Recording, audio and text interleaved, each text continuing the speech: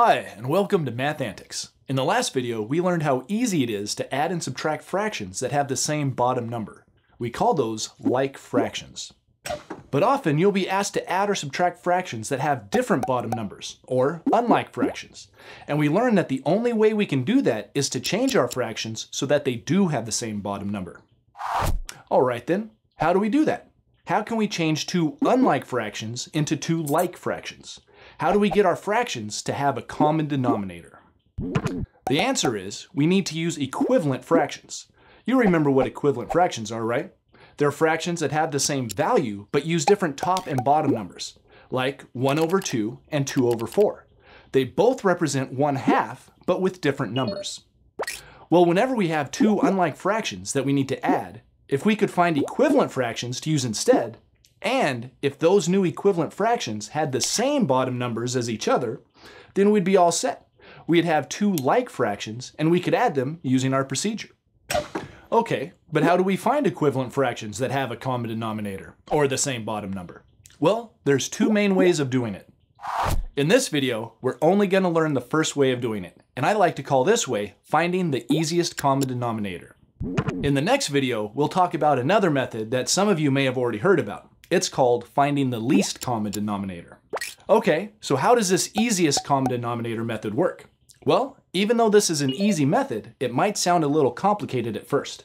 But don't worry, it'll make a lot more sense once you've seen a few examples. In this method, the common denominator is always going to be the product of the bottom numbers. In other words, it will be the number you'd get if you multiplied the bottom numbers together.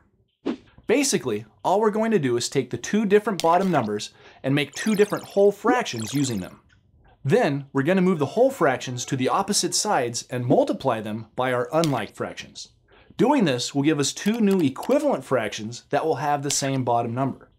Then, we can add or subtract them easily.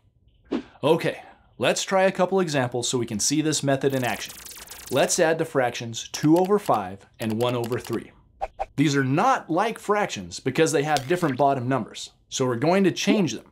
And the common denominator we will use is the product of the bottom numbers. 5 times 3 equals 15. We change them by multiplying each fraction by a whole fraction. The first whole fraction is going to be 3 over 3 because 3 is the second fraction's denominator. And the second whole fraction is going to be 5 over 5 because 5 is the first fraction's denominator. Next, we multiply starting with our first fraction. On the top, 3 times 2 equals 6. And on the bottom, 3 times 5 equals 15.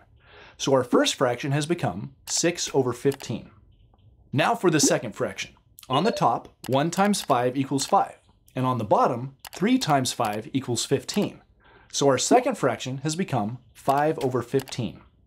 Now we just add them using our procedure for adding like fractions. We add the top numbers, 6 plus 5 equals 11, and then we keep the same bottom number, which is 15.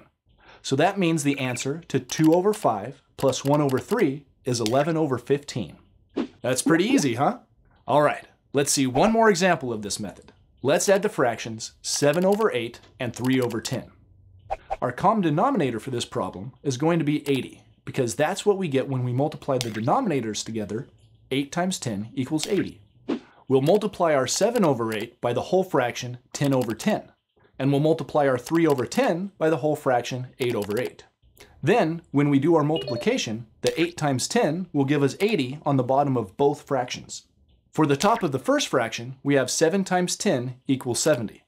And the top of the second fraction, we have 3 times 8 equals 24. Now that we have like fractions, we can just add the top numbers. 70 plus 24 equals 94 and keep the bottom number the same, 80. So 7 over 8 plus 3 over 10 equals 94 over 80. Some of you see that this answer could be simplified. Be sure to check out our videos on mixed numbers and simplifying fractions to see how you could do that for your final answer. All right, that's the first way you can find the common denominator and change your unlike fractions into like fractions so you can add or subtract them easily.